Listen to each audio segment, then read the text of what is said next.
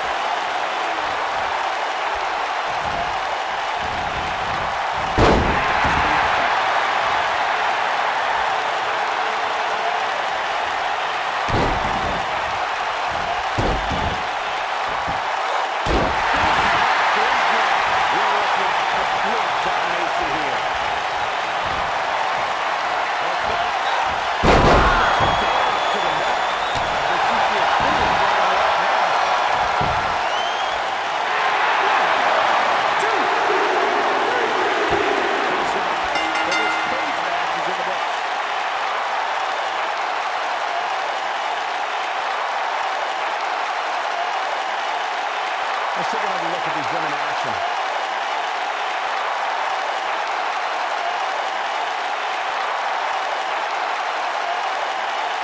When any superstar, man or woman, is able to find a way to win a match as entertaining and action-filled as that one, they should be grateful and really proud.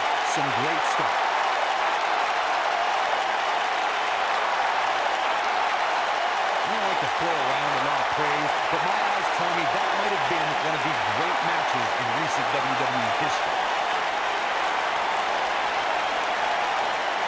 There's good, there's great, and then there's downright unbelievable WWE action. Ladies and gentlemen, you just got a taste of the unbelievable. Here is your winner, the Queen, Danny Storm Born. This over, and here's your winner. And to be honest, Michael, neither of these amazing women have anything to be ashamed of. To see the big singles win here tonight.